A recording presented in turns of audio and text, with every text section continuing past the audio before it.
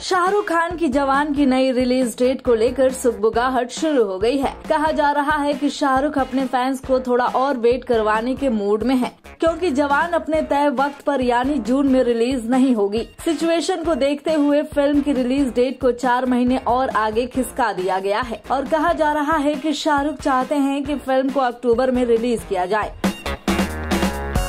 दरअसल, पठान के सक्सेस के बाद से शाहरुख खान जवान की शूटिंग में लगे हुए हैं और हाल ही में मुंबई का शेड्यूल भी पूरा किया है। और इसमें करीब करीब 25 दिन की शूटिंग अभी बाकी है। ऐसे में धड़ाधड़ शूटिंग चल रही है, चौबीसों घंटे काम हो रहा है। क्योंकि फ़िल्म को लेकर के बस ढाई महीने का वक्त बाकी रह गया है। और फ़िल्म की शूटिंग समेत इसकी एडिटिंग फिर एक महीने का प्रमोशन भी होगा। कुल मिलाकर फ़िल्म में अच्छा खासा वक्त लगने वाला है। ऐसे में शाहरुख खान का कहना है कि फ़िल्म जवान की रिलीज़ डेट को पोस्टपोन कर दिया जाए। मीडिया रिपोर्ट्स के अकॉर्डिंग, फ़िल्म की शूटिंग जारी है और मेकर्स जल्द से जल्द फ़िल्म की शूटिंग खत्म करना चाहते हैं।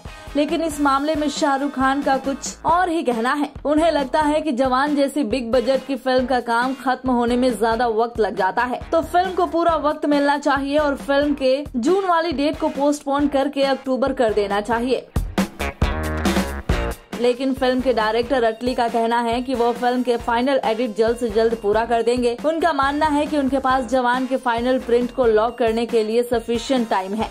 तो फ़िल्म के डेट को बदलने की ज़रूरत नहीं पड़ेगी। अब ऐसे में शाहरुख खान और अटली दोनों के ही अलग अलग विचार हैं। दोनों एक मत पर अग्रेड नहीं हुए हैं। लिहाजा एक बीच का रास्ता निकाला गया है। क्योंकि फ़िल्म की एडिटिंग भी साथ साथ चल रही है तो ऐसे में बताया जा रहा है कि शाहरुख और अटली एक दो हफ़्ते बाद फ़िल्म की एडिटिंग को देखने के बाद फ़िल्म के रिलीज़ डेट को लेकर कोई फैसला ले सकते हैं।